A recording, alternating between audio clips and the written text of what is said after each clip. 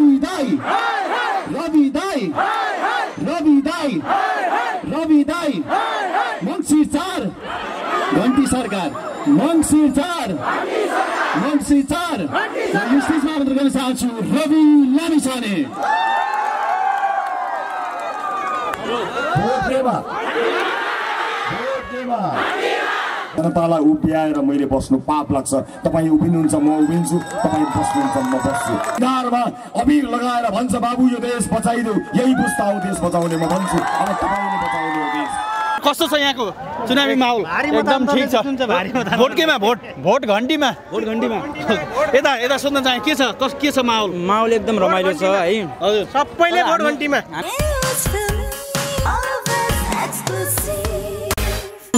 अतिथि रवि लामिछानेलाई म हार्दिक आग्रह गर्न चाहन्छु यस कार्यक्रम विधिवत रूपमा समुद्घाटन गरिन्छ सबैजनालाई ताली बजाएर समुद्घाटनमा साथ दिनको लागि म हार्दिक आग्रह गर्न चाहन्छु चाहिँ स्वतन्त्र पार्टीका केन्द्रीय सभापति हामीसँग विशेष व्यक्ति आउनुभएको छ उहाँलाई हाई हाईको साथमा यो स्टेजमा आमन्त्रण गर्न चाहन्छु रवि दाई रवि दाई रवि दाई रवि दाई रवि दाई सरकार। मङ्सिर चार। मङ्सिर चार। स्टेजमा आमन्त्रण गर्न चाहन्छु रवि लामिछाने।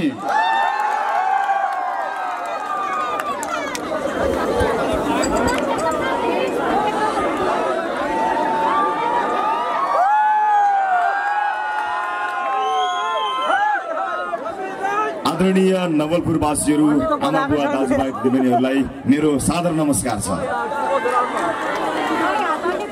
हेर्दाखेरि यो भिड एउटा सामान्य भिड जस्तो लाग्दो। हो तर यो भिड यो मुलुकले अब परिवर्तन चाहेको छ र यो मुलुकले परिवर्तन गरेरै छोड्छ भन्नका लागि देखाउने प्रमाण जस्तो एउटा भिड हो। यो भिडलाई सलाम गर्न चाहन्छु म। बस यही भिड हो। यही भिड हो जसले परिवर्तनको घन्टी यसै पटक बजाउनेछ। म निर्धक्क भएर यहाँ उभिएको छु यसै पटक बजाउनेछ। त्यही भएर त होला हामी संसदमा गयो भने त विभिन्न कालखण्डमा भएका भ्रष्टाचारका सारा फाइलहरू खुल्छन् भनेर होला। अहिलेदेखि मानिसहरू काप्न थालेका छन् र अनेक किसिमको तिकडम र हत्कण्डा अपनाउन थालेका छन्। तपाईँलाई बताउन चाहन्छु हामी झुक्नका लागि रोकिनका लागि आएका होइनौँ। न हामी झुक्छौँ न रोकिन्छौँ। यो आवाज नेपाली जनताको आवाज हो। वर्षौँदेखि मैले कार्यक्रम सञ्चालन गर्दा यिनै अनुहारहरू यही भिडका मान्छेहरू आएका थिए। मलाई अन्याय पर्यो भनेर। म दुःखमा परेँ। मलाई कसैले हेरेन। मेरो धेरै ठुलो बिल्ली बाठ भयो। यिनै गुनासोहरू बोकेर मानिसहरू म कहाँ आएका थिए। मैले उनीहरूलाई सधैँ भनिरहेँ यी दुःख सुन।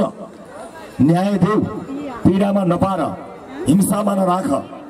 बारम्बार भनिरहेँ। उनीहरूले सुनेनन्। कहिल्यै पनि सुनेनन्। मैले आफ्नो आवाजलाई सधैँ चर्को बनाएँ। म व्यक्तिगत स्वभावमा त्यति चर्को मान्छे होइन। मसँग सङ्गत गरेका मान्छेहरूलाई थाहा छ म नरम स्वभावको मान्छे हुँ। मेरो आजसम्म कसैसँग भना भनेर झगडा परेको छैन। तर म टेलिभिजनमा असाध्यै चर्को देखिन्छु। कतिलाई झर्को लाग्ने गरी पनि चर्को देखिन्छु। किनकि त्यो मेरो आवाज थिएन तपाईँको आवाज थियो। तपाईँको आवाज बोल्दाखेरि चर्किनै पर्छ। त्यो आवाजलाई म अब टेलिभिजनको स्क्रिनबाट संसदमा लिएर जान्छु आउन चाहन्छु आमा बुवा दाजुभाइ दिदीबहिनीहरू। तपाईँको आवाज सही ठाउँमा पुगेन। मैले चर्कोसँग बोल्दा पनि उनीहरूलाई त्यो सुमधुर गीत लाग्यो। त्यस कारणले मैले त्यो ठाउँ छोडेँ। त्यो ठाउँबाट म बाहिर निस्किएर नीति निर्माण तहमा जाने कदम बाहिर चालेँ मैले बारम्बार भन्दै आएको छु यदि मैले कार्यक्रम नै निरन्तर गरेको भए विदेशमा भएका अर्को सय दुई सय चार सय पाँच सय चेलीहरूको उद्धार हुन्थ्यो होला।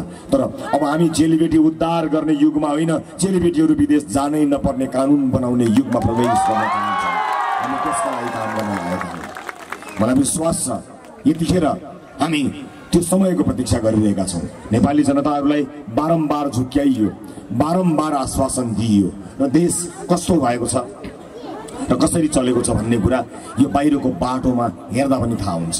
म तपाईँहरूलाई एउटा अनुरोध गर्न चाहन्छु। तपाईँले यस अगाडि कसलाई भोट दिएर पठाउनु भयो जिताउनु भयो मलाई अहिले सम्झना छैन कण्ठ छैन सम्झना लायक भए पो सम्झनु। सम्झना लायक मैले देखेको छैन। तर एकपटक जसलाई जिताएको भए पनि उहाँहरूलाई यो बाटोमा बिहान दुई पटक दिउँसो दुई पटक र राति दुई पटक पछाडि मास्क र हेलमेट नलगाइकन मोटरसाइकल पछाडि लैजानु होला र साइडमा तिनवटा टिप्पर कुदाइदिनु होला आम जनताको दुःख कस्तो हुन्छ भन्ने कुरा उहाँहरूलाई थाहा हुनुपर्दछ त्यसैले आम जनताभन्दा नेतामाथि हामीले मान्यौँ भने हामीले सधैँ दुःख पाइरहन्छौँ। उपस्थित आमा बुवा दाजुभाइ दिदीबहिनीहरू निर्वाचनको मुखमा छौँ हामी। मैले आफ्नो उम्मेदवारी दिएसँगै कुनै पनि नेतालाई या पार्टीलाई आलोचना गरेको छैन। किनभने मैले त्यो अध्याय बन्द गरिसकेको छु। तर मैले त्यो अध्याय भुलेको छैन। मैले बिर्सिएको छैन हामीले पाएको दुःख। यस अर्थमा म एउटा काममा तल्लीन भएको मान्छे अर्को काममा आएको छु। आज हामी चुनावी सभाहरूमा छौँ देशभर गएका छौँ। यहाँ चिन्नुभएका तपाईँ कोही पनि हाम्रो पार्टीको सदस्य हुनुहुन्छ हुनुहुन्न मलाई थाहा छैन। भए पनि असाध्यै कम औलामा गन्न सकिनेहरू मात्रै हाम्रा सदस्य हुनुहुन्छ होला। पचासजना धेरै मैले भनेको छु भने अझ त्योभन्दा बढी चालिस पचासजना पनि हुनुहुन्न होला। बाँकी सबै हाम्रा शुभचिन्तकहरू हुनुहुन्छ। यो हाम्रो शुभचिन्तकको भिड होइन। यो यो देशका शुभचिन्तकहरूको भिड हो। यो देश बनोस् भन्ने चाहनेहरूको भिड हो। हामीले पार्टी सङ्गठन र कार्यकर्ता भन्ने कुरालाई खारेज गरेका छौँ। त्यसैले यो भिडमा आएका मान्छेहरू आफ्नो भात खाएर आएका हुन् आफ्नो पेट्रोल हालेर आएका हुन् आफ्नो पानी किनेर खाएका आएका हुन्। कसैलाई कसैले एक पैसा पनि दिएको छैन हो। यही भिड हो परिवर्तन गर्ने भिड यही भिड हो। परिवर्तन। कसैले पनि गर्दैन। कोहीबाट प्रायोजित छैन कसैबाट सञ्चालित छैन कसैलाई पाल्नु छैन कसैलाई पोस्नु छैन। मात्र देशको हित चाहन्छ। यो पुस्ता मलाई आँखा भरि आँसु पारेर हातमा फुल दिएर निधारमा अबिर लगाएर भन्छ बाबु यो देश बचाइदेऊ। यही पुस्ता हो देश बचाउने म भन्छु। अब तपाईँले बचाउने देश। असी नब्बे सय वर्षको हुनुहुन्छ। उहाँलाई यो देश कति चाहिएला र उहाँलाई भन्दा बढी यो देश मलाई चाहिन्छ। मलाई भन्दा बढी साना साना केटाकेटीहरूलाई चाहिन्छ। म आज यो राजनीतिमा आएको तपाईँलाई आज बेलुकै आज भोलि बिहानै अथवा यही निर्वाचनमा केही न केही दिन सक्ने गरेर आएको छैन आमा बुवा दाजुभाइ दिदीबहिनीहरू। आजै दिने मसँग के पनि छैन तपाईँलाई। तर हुर्किँदै गरेको पुस्ताका लागि एउटा बिउ रोप्न म राजनीतिमा आएको हुँ। त्यो बिउ म यस पटक रोप्छु। त्यो बिउ म यसपटक अवश्य रोकेर जानेछु। त्यो बिउ यदि बिस पच्चिस वर्ष अगाडि पन्ध्र बिस वर्ष अगाडि कसैले रोपिदिएको भए आज त्यो फल लाग्थ्यो र रुँदै रुँदै युवाहरू विदेश जान पर्ने थिएन। आज यो देशका लाखौँ युवाहरूले तपाईँलाई फोन गरेर भनिरहेका छन् भोट घन्टीमा है घन्टीमा जुन पार्टीको भए पनि घन्टीमा। किन भनिरहेका छन् थाहा छ तपाईँलाई? किन भनिरहेका छन्? थाहा छ तपाईँलाई? किनकि विदेशमा बसेर पैसा पठाएको त देखियो होला मोबाइलहरू कहिलेकाहीँ दुःख गरेर पठाएको देखियो होला तर विदेशमा बिताएका हरेक रातहरू आँसुले भिज्छन् मैले भोगेको छु मैले देखेको छु उनीहरूलाई दुःख छ। त्यसकारण त्यो दुःखको सागरबाट मलाई निकालिदेऊ घन्टीमा भोट हालिदेऊ भनेका हुन्। यति कुरा तपाईँले बुझ्न जरुरी छ हो। अब यति कुरा बुझ्न जरुरी छ? कसैको मायाले कसैको दयाले होइन त्यो ठाउँमा गाह्रो छ। म संसारको एउटा विकसित देशमा लामो समय बसेर आएको मान्छे हुँ। त्यहाँ पनि मलाई दुःख थियो। म पनि ती आम सर्वसाधारण जस्तै मान्छे थिएँ। आफ्नो सपना आफ्नो भविष्य र आफ्नो उन्नति खोज्दै निस्किएर हिँडेको मान्छे। घरबाट निस्किएर हिँडेको मान्छे कहाँ पुग्छ कहाँ पुग्छ? कहाँ हराउँछ कहाँ हराउँछ? पत्तै पाइँदैन। म त्यसरी हराएको मान्छे देश फर्किएर आएँ। देश फर्किएर आइसकेपछि विदेशी पासपोर्ट बुझाइदिएँ। आफ्नै देशमा सेवा गरेँ आफ्नै नागरिकहरूसँग घोलिएँ दुर्गममा अस्पताल बनाउन गएँ मधेसको बस्तीमा बस्ती बनाउन गएँ अन्यायमा परेकालाई न्यायका लागि बोले अत्याचार गर्नेहरूको मैले विरोध गर्न सुरु गरेँ सायद धेरैको पेट यसै गरेर पोलेको छ होला। अहिले त उम्मेदवारी नै खारेज गर्नेतिर लागिरहेका छन्। गरोस् उम्मेदवारी खारेज मलाई केही भन्नु छैन। उम्मेदवार खारेज। म चुनावमा उठेर नेता भएर मात्र यो समाजको सेवा गर्न निस्किएको मान्छे होइन। चुनावमा नउठ्दा पनि तपाईँको घर घरमा पुगेर हिँडेको मान्छे हुँ टोल टोलमा पुगेको मान्छे हुँ बस्ती बस्तीमा पुगेको मान्छे हुँ। कोभिडले देश ढिलो हुँदाखेरि जनता मरिरहँदा तपाईँहरूले निर्वाचित गर्नुभएका नेताहरू मुखभरि मास्क लगाएर घरभित्र लुकेर बसेका थिए। म ज्यानको माया मारेर तपाईँहरू संस्थाका लागि अक्सिजन खोज्न घर घर चोक चोक हिँडेको मान्छे हुँ। मलाई यो देशको सेवा गर्न राजनीति मात्रै चाहिन्छ भन्ने छैन। तर राजनीतिका माध्यमबाट संसदबाट सेवा गर्न पाएँ भने म नीति निर्माण तहमा काम गर्न चाहन्छु गर्न सक्छु ताकि मैले फ्री भिजा फ्री टिकटको बिना ढेउवाको स्किम होइन विदेशबाट नेपाली ल्याउने स्किम चलाउन सक्छु अब त्यस्तो स्किमको जरुरत छ। विदेशबाट नेपाल आउनेहरूका लागि सहरहरूमा चोक चोकमा त्यस्तो स्किमको जरुरत छ। म त्यसका लागि आएको हुँ। उपस्थित आमा बुवा दाजुभाइ दिदीबहिनीहरू मलाई व्यक्तिगत जीवनमा चाहिने चिज केही पनि थिएन। व्यक्तिका रूपमा म संसारको जहाँ गएर बस्न पनि स्वतन्त्र थिएँ। आज पनि युवाहरू हिजो बिस वर्ष अगाडि म विदेश गए जस्तै डिभी भर्न पछाडि जान भिजा लिनका लागि लाइन लागेका छन् मरियत्ते गरेर बसेका छन्। किनकि यो देशमा बसी खान दिइएको छैन। काम गरेर खाने देश बनाइएको छैन। न कृषक खुसी छ न न विद्यार्थी खुसी छ न मजदुर खुसी छ न विभिन्न पेसा व्यवसाय गर्ने मान्छे खुसी छ हरेक सूचकहरू ओह्रालो लागेको अवस्थामा यो देश छोड्नेको लर्को लागेको बेलामा म आफ्नै देश फर्किएर आएँ मैले के बिराएँ मैले के बिगार गरेँ मैले यहाँ आएर आफ्नो स्वार्थका लागि के काम गरेर मैले आफ्नो जीवनमा मात्र काम लाग्ने के काम गरेर के मेरो जीवन आम दाजुभाइ दिदीबहिनीहरूका लागि काम लागेको छैन?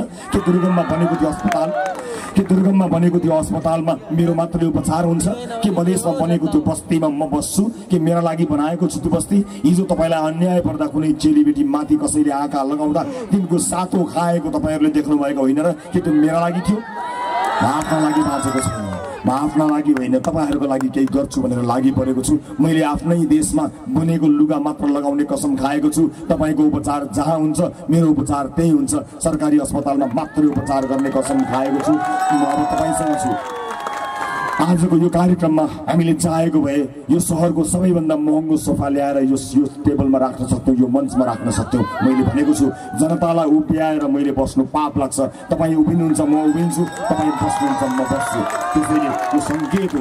हामी सबैजना यो मञ्चमा मजाले एकदमै गद्दा भएको सोफामा बस्न सक्छौँ पार्टी गरिब भए पनि एउटा सोफा एक घन्टालाई भाडामा लिन सक्ने जरी गरिब भएको छैन। तर हामीले त्यो किन गरेनौँ भने हामी तपाईँको बराबर हुन चाहन्छौँ। हामी सेवक हौ मालिक होइनौँ यो बाटोमा राजनजी राजनजी शालिग्रामजी तपाईँहरू उम्मेदवार हुनुहुन्छ। म तपाईँहरूलाई भन्न चाहन्छु यो बाटो सधैँ यस्तै रह्यो। तपाईँहरूको कार्यकालमा यसमा पहल गर्नु भएन भने अघि भनेको मोटरसाइकल पछाडि राखेर म तपाईँलाई कुदाउनेछु। म तपाईँलाई पनि यही चिज गराउनेछु। र आज तपाईँहरू उम्मेदवारहरू र हामी हामीसँग मिनाजी पनि समानुपातिको उम्मेदवार हुनुहुन्छ। तिनैजना उम्मेदवारलाई म अगाडि आउन अनुरोध गर्न चाहन्छु र तिनैजना उम्मेदवारलाई छातीमा हात राख्न अनुरोध गर्न चाहन्छु। छातीमा हात राखेर यी मानिसहरूलाई भन्नुहोला कि तपाईँले बोल्नु भएको कुरा झुटो होइन बाचा पुरा गरेरै देखाउँछु तपाईँले छातीमा हात राखेर प्रतिबद्ध गर्नुहोला।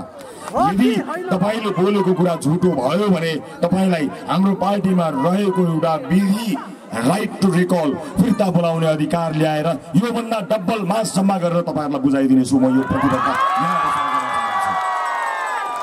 मेरो पुस्ताको राजनीति मेरो पुस्ताको राजनीति जनतालाई झुटो भाषा र झुटो आश्वासन दिएर भाग्ने राजनीति होइन। जनतालाई हिलो र धुलोमा फालेर आफू सिसावाला र एसीवाला गाडीमा हिँड्ने मेरो पुस्ताको राजनीति होइन। जनता सँगसँगै जनताको घर दैलोमा पुग्ने मेरो पुस्ताको राजनीति हो। हाम्रा तिनै उम्मेदवारहरू तपाईँसँग चुनावका बेलामा घर दैलोमा पुग्न पाएनन् होला भ्याएनन् होला तर चुनाव पछाडि घर घरको समस्या समाधान गरेनछन् भने फेरि पनि उम्मेदवारहरूलाई फिर्ता बोलाउने अधिकार पार्टीले राखेको छ। म यो गर्न गइरहेको छु। हाम्रो पुस्ता अब हिजो जस्तो गनाउने राजनीति गर्नका लागि यहाँ आएको होइन। हाम्रो पुस्ता प्रतिबद्ध भएर यो देश अगाडि बढाउनका लागि आएको हो। हर क्षेत्रमा मौलाएको भ्रष्टाचारलाई जरो उखालेर फाल्नको निम्ति हामी आएका हौँ। त्यसैले आदरणीय दाजुभाइ दिदीबहिनीहरू आमा बुवाहरू हाम्रा उम्मेदवारहरूमा कसैले प्रत्यक्षमा एउटा दिउला अथवा समानुपातिकमा एउटा दिउला भन्नुभएको छ भने हुँदैन। यसपटक तपाईँले प्रत्यक्ष र समानुपातिक दुइटैमा घन्टीलाई मात्रै भोट हाल्नुपर्नेछ। पुरै भोट घन्टीलाई। यसपटक सिङ्गो देश। सिङ्गो देश यो क्षेत्रलाई हेरेर बसिरहेको छ। चितुवनमा म छु यतापट्टि उहाँहरू हुनुहुन्छ। यो सिङ्गो देशमा घन्टीको लहर आएको छ। यही त हो मौका। हामीले मुलुकलाई परिवर्तनको दिशामा अगाडि बढाउने। यो सुवर्ण अवसर इतिहासमा बिरलै प्राप्त हुन्छ। त्यस्तो बिरलै अवसर तपाईँ हामीले अहिले प्राप्त गरेका छौँ। यो सानो उपाय होइन यो सानो अवसर होइन। मङ्सिर पाँच गते पछाडि तपाईँसँग भएको त्यो अधिकार रहने छैन। यदि तपाईँले पुरानै मानिसहरूलाई निर्वाचित गरेर पठाउनु भयो भने त्यही हुन्छ अहिले जे भइरहेको छ। यदि तपाईँ त्यसैको निरन्तरता चाहनुहुन्छ भने मात्रै तपाईँले भोट बाँडेर आदि यता आदि उता। यो बाबुआमाले छोराछोरीलाई अंश भाग लगाए जस्तो होइन आमा बुवा दाजुभाइ दिदीबहिनीहरू यो देशका हुर्किँदै गरेका यो देशका हुर्कुँदै गरेका पुस्ताको भविष्य हो। यो चोकमा काटिएको मासु भाग लगाए जस्तो होइन। यो चोकमा राखिएको मकै भटमास भाग लगाएको जस्तो होइन। हुर्कँदै गरेको पुस्ताको भविष्यसँग सम्बन्धित कुरा हो। आज काखमा भएका यी बालबालिका सम्झनुहोस् त। ती काखमा बालबालिका दस बाह्र वर्षपछि तपाईँसँग एयरपोर्ट जान्छन्। त्यतिखेर तपाईँको र तपाईँको बालबच्चा अहिले काखमा राख्नुभएको बच्चाको बिछोड हुन्छ। तपाईँले रुँदै उसलाई माला लगाएर टिका लगाएर अबिर लगाएर देशबाट बाहिर जानको लागि छोड्न आउनुपर्ने हुन्छ। हुनुहुन्छ र त्यो एयरपोर्टमा आँसु झार्ने मान्छे तपाईँ हुनुहुन्छ जसरी अहिलेका पुस्ताले आँसु झारिरहेका छन्। दसैँ आउँछ तिहार आउँछ चाडपर्वहरू आउँछन् तर मोबाइलको स्क्रिनमा टिका लगाएर रुनुपर्ने दिनहरू आएको छ। अब ती दिनलाई अन्त्य गर्नको लागि कानुन बनाउने ठाउँमा हामी जान लागेका छौँ। हामी गरेरै छाड्छौँ यो प्रमाणित गरेरै छाड्छौँ। उपस्थित आमा बुवा दाजुभाइ दिदीबहिनीहरू अब निर्वाचन नजिक आएको छ। आज र भोलिको दिन मात्र बाँकी छ। भोलि हामी एउटा बृहत सभा गर्दैछौँ। त्यस सभामा म थप प्रतिबद्धताहरू थप कुराहरू आफ्नो राख्नेछु। सकेसम्म आउने कोसिस गर्नुहोला। हामीले यसपटक त्यो सभाबाट एउटा सन्देश देश सिङ्गो देशलाई दिनुपर्नेछ। यो सिङ्गो देशले अहिले चितवन र यस वरपरको क्षेत्रलाई एउटा निर्वाचनको केन्द्रबिन्दु मानेर हेरिरहेको छ। यो केन्द्रबिन्दुबाट हामीले एउटा विशाल जनसागरका माध्यमबाट सन्देश दिनुपर्नेछ कि अब त घन्टी आयो आयो कसैले रोकेर रोकिन्न भनेर एउटा सन्देश दिनुपर्ने बेला आएको छ। अन्त्यमा जुन फुलका थुङ्गाहरू तपाईँले मलाई दिनुभएको छ ती फुलका थुङ्गाहरू बोक्दा हलुङ्गा छन्। घाँटीमा माला बनाएर लाउँदा पनि हलुङ्गै छन्। तर त्यसभित्रको जिम्मेवारी गरुङ्गो छ। भारी छ तर म आफ्नो काँधलाई त्यो सम्पूर्ण जिम्मेवारी बोक्न सक्ने गरी मजबुत बनाएर यो मैदानमा उभिएको छु। जिम्मेवारीलाई कुनै पनि हालतमा पुरा गरेर यो मुलुकलाई परिवर्तनको नयाँ दिशामा लिएर जान तयार भएर आएको हुँ। आज तपाईँले मलाई चिन्नु भएको हेर्नु भएको हिजो टेलिभिजनमा भ्रष्टाचारीहरूलाई ठाउँको ठाउँ कारवाही गरेको हुनाले हो भ्रष्टहरूलाई रेड ह्यान्ड पक्रिएका कारणले हो अलपत्र परेका चेरीहरूलाई उद्धार गरेर हो धेरै अन्यायमा परेकाहरूलाई न्यायका लागि आवाज उठाएर हो। मान्नुहोस् अब त्यो आवाज संसदसम्म पुग्नेछ। आजसम्म तपाईँले मान्छेलाई चुनेर पठाउनु भयो मान्छेलाई चुनेर एउटा पार्टीलाई चुनेर एउटा नेतालाई चुनेर पठाउनु भयो। उसैले जित्यो तपाईँहरूले कहिले पनि जित्नु भएन। बस यसपटक तपाईँहरू जित्ने चुनाव हामी लडिरहेका छौँ। तपाईँहरूलाई जिताएर मात्र हामी विश्राम लिनेछौँ। त्यसैले पहिलो पटक मतदान गर्नुहुने प्रिय भाइ बहिनीहरू हो वर्षौसम्म आफूले मतदान गरेकोमा तिमीहरूका बाआमाले के भन्छन् मलाई थाहा छैन। तर पहिलो पटक हामीलाई भोट हाल्दै गरेका प्रिय भाइ बहिनीहरू तिमीहरू भोलिपछि बुढाबुढी भइसकेपछि गर्वले भन्न सक्नेछौ कि हो हाम्रो पालामा जब मैले पहिलो पटक भोट हाल्दै थिएँ त्यतिखेर हाम्रो देशमा राष्ट्रिय स्वतन्त्र पार्टी भनेर रवि लामी छानेले सुरु गर्यो। हामीले त्यही पार्टीमा भोट हाल्यौँ र त्यहीदेखि देश बन्न तिमीहरूले भोलि आफ्ना नाति नातिनालाई सुनाउने कथा मैले आज तिमीहरूलाई क्वेसन आउट गरे जसरी आजै भनिदिएको छु। बस त्यो युगको सुरुवात निर्धक्क भएर गर मेरा प्रिय भाइ बहिनीहरू हामीले के गर्यौँ कसो गर्यौँ? मैले जिम्मेवारीपूर्वक आफ्नो पुस्ताको कानमा आएको जिम्मेवारी पुरा गर्न सकेँ सकिन थाहा छैन। एउटा सञ्चारकर्मी भएर पनि मैले खासै धेरै केही गर्न सकिनँ र त तिमी सुरक्षित हुन सकेकी छैनौ। तिम्रा अगाडिका बाटाहरू यस्ता भएर बसेका छन्। तर अब तिमी पिर नगर अब हामी राजनीतिमा आएका छौँ। यस्ता मान्छेहरू बोकेर आएका छौँ कि होनहार आफ्नो क्षेत्रमा कुशलता प्रस्तुत गरिसकेका होनहार उम्मेद्वार सहित आएका छौँ। यसपटक मुलुक परिवर्तन भएरै छोड्छ।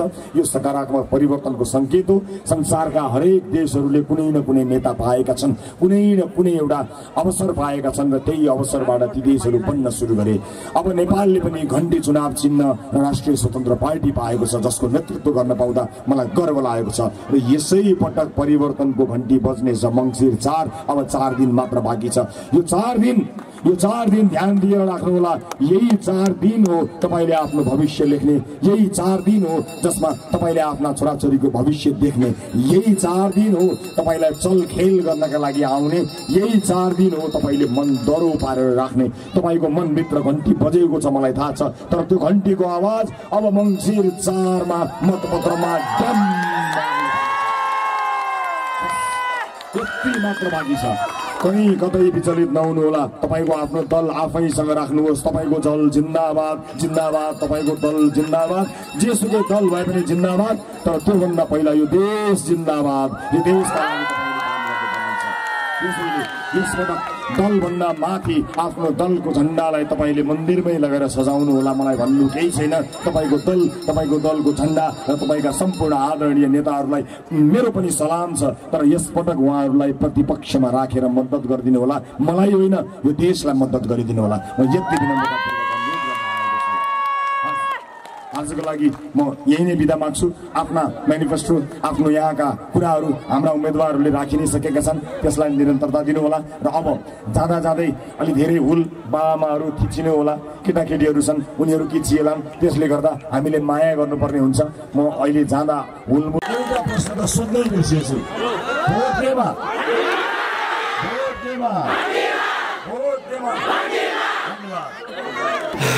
आदम दर्शक यतिखेर हामी नवलपुर कावासोतीमा आइपुगेको छौँ। यहाँ रवि लामी छानेजीको वृहत पब्लिकसँगको भेटघाट कार्यक्रम थियो र आफ्नो क्षेत्रका उम्मेदवारलाई सघाउन रवि लामी छानेजी यहाँ आउनुभएको थियो र हामी सोध्न चाहन्छौँ सर कस्तो छ यहाँको माहौल?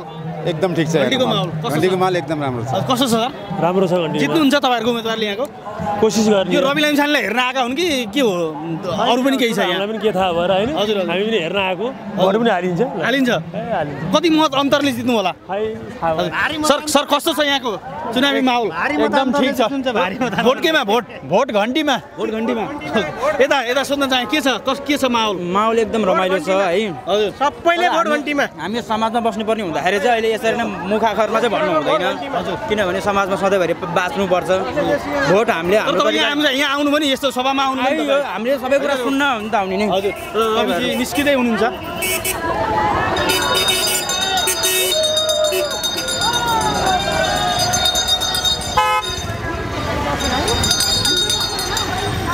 हाम्रो गाडी